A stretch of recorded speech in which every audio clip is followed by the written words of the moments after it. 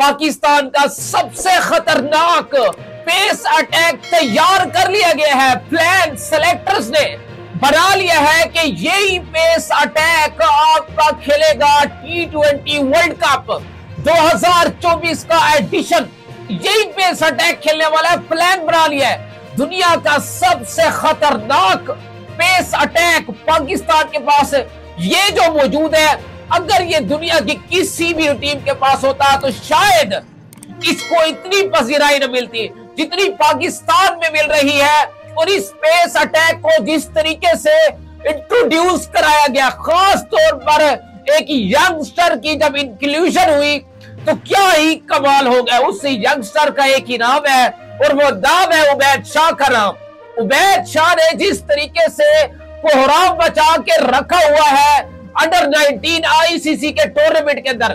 और अब डिमांड बढ़ चुकी है। डिमांड अब एक ही बढ़ चुकी है कि जनाब आईसीसी वर्ल्ड कप 2024 के अंदर पाकिस्तान के नेशनल टी ट्वेंटी स्क्वाड में इस प्लेयर की इंक्लूजन कराई जाए। यंग है, तेज बॉलर है।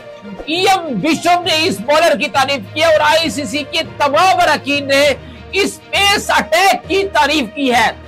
पेस अटैक क्या है? सबसे पहले आपको बताऊँ तो उबैद शाह, नसीम शाह, हारिस राउफ शाहिन शाह अफरीदी, अगर इसमें मोहम्मद आमिर को कन्विंस करने में कामयाब रह जाते हैं, शाहिन शाह अफरीदी जो हमेशा से आमिर बात करते रहे हैं कि जनाब अगर कप्तान मुझे खुद कहेगा, पहले बाबर आज़म ने खुद उनको नहीं कहा, लेकिन अब एक अच्छी अपॉर्चुनिटी है कि शाहिन शाह अफरीदी उनको खुद ही कन्विंस करे और अगर आमिर मान जाता है टी ट्वेंटी वर्ल्ड कप 2024 में इमेजिन करो फैंस के लिए क्या ज़बरदस्त और वर्ल्ड मीडिया के लिए इससे बेस्ट पेस अटैक दिखाना शायद किसी भी टीम के पास नहीं हो सकता है। सबसे खतरनाक और डेंजरस पेस अटैक पाकिस्तान का बन सकता है। अगर इसमें इंक्लूजन मोहम्मद आमिर की उबैद शाह की हो जाती है तो दुनिया देखेगी कि क्या ज़बरदस्त ये